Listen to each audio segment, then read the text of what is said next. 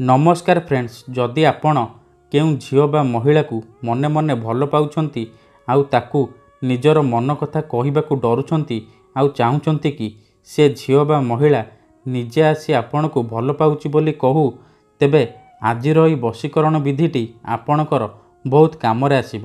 କାରଣ ଆଜିର ଏହି ଭିଡ଼ିଓଟିରେ ମୁଁ ଆପଣଙ୍କୁ ସବୁଠାରୁ ପ୍ରଚଣ୍ଡ ମହାଶକ୍ତିଶାଳୀ ବଶୀକରଣ ବତେଇବି ଯାହାକୁ ପ୍ରୟୋଗ କରି ଆପଣ ସେ ଝିଅ ବା ମହିଳାକୁ ନିଜ ବଶରେ କରିପାରିବେ। ଏହି ବଶୀକରଣ ଆପଣ ଯେଉଁ ଝିଅ ବା ବିବାହିତା ମହିଳା ଉପରେ ପ୍ରୟୋଗ କରିବେ ସିଏ ଆପଣଙ୍କର ସବୁ କଥା ମାନିବ। ଯେଉଁଠିକି ଡାକିବେ ଆସିବ। ଯାହା କହିବେ ସେ କରିବ। କୌଣସି ପ୍ରକାର ବାଧା ଦେବ ନାହିଁ। ତେବେ ଫ୍ରେଣ୍ଡସ୍ ମୋର ଅନୁରୋଧ ଏହି ବିଧିକୁ ଆପଣ କେବେ ବି ଖରାପ ଉଦ୍ଦେଶ୍ୟରେ ପ୍ରୟୋଗ କରିବେନି। ଯଦି ଆପଣ ସେ ଝିଅ ବା ମହିଳାକୁ ସତପ୍ରେମ କରୁଛନ୍ତି ଆଉ ତାକୁ ବିବାହ କରିବାକୁ ଚାହୁଁଛନ୍ତି ତେବେ ଆପଣ ଏହି ବିଧିର ପ୍ରୟୋଗ କରିବେ। ତେବେ ଏହି ବଶୀକରଣ କରିବା ପାଇଁ ଆପଣଙ୍କୁ କିଛି ସାମଗ୍ରୀ ଦରକାର। ଦେଖନ୍ତୁ ଯେମିତିକି ଦୁଇଟି ରସୁଣ ଲାଲ ସିନ୍ଦୁର ବନ୍ଧନ ସୂତ୍ର ଏବଂ ଗୋଟେ କଲମ। ତେବେ ପ୍ରଥମେ ଆପଣ କ'ଣ କରିବେ? ଶନିବାର ଦିନ ରାତି ଦଶଟାରୁ ରାତି ବାରଟା ମଧ୍ୟରେ ନିଜ ରୁମ୍ରେ ପଶ୍ଚିମ ଦିଗକୁ ମୁହଁ କରି ବସିବେ। ତାପରେ ଆପଣ କ'ଣ କରିବେ? ଏହି ଦୁଇଟି ରସୁଣ କୁଲା ଉପରେ ସେ ଝିଅ ବା ମହିଳାର ନାମ ଆଉ ଗୋଟେ ରସୁଣ ଉପରେ ଆପଣ ନିଜର ନାମ ଲେଖିବେ। ଦେଖନ୍ତୁ ମନେକର ଆପଣ ଯେଉଁ ଝିଅ ବା ମହିଳାକୁ ନିଜ ବଶରେ କରିବାକୁ ଚାହୁଁଛନ୍ତି ତା'ର ନାମ ସୀମା ଏବଂ ଆପଣଙ୍କର ନାମ ପପୁ ତେବେ ଆପଣ ଏହିପରି ଲେଖିବେ। ଗୋଟେ ରସୁଣରେ ଲେଖିବେ ସୀମା ଏବଂ ଆଉ ଗୋଟେ ରସୁଣରେ ଲେଖିବେ ଆପଣ ନିଜର ନାଁ ପପୁ। ତାପରେ ଆପଣ କ'ଣ କରିବେ? ଏହି ଦୁଇଟି ରସୁଣକୁ ଏହିପରି ଭାବରେ ରଖିବେ।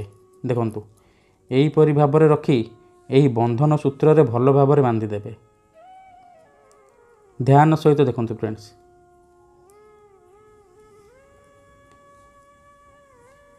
ଏହି ବନ୍ଧନ ସୂତ୍ରରେ ଆପଣ ଏହି ଦୁଇଟି ରସୁଣକୁ ଭଲ ଭାବରେ ବାନ୍ଧିଦେବେ।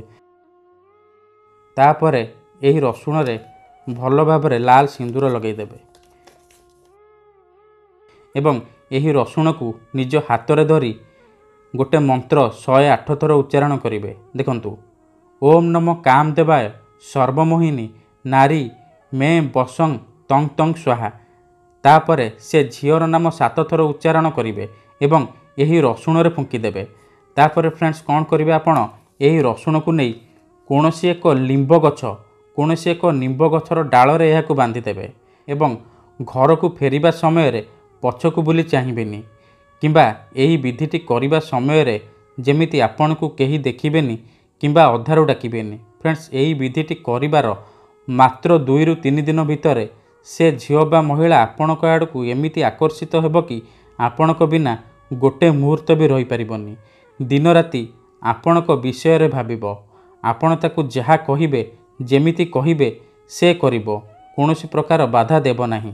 ଧନ୍ୟବାଦ।